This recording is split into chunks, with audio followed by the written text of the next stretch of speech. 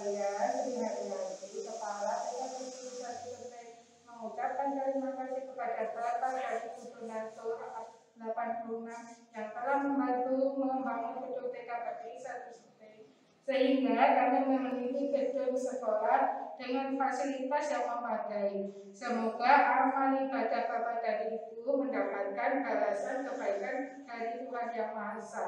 Amin. Wassalamualaikum warahmatullahi wabarakatuh.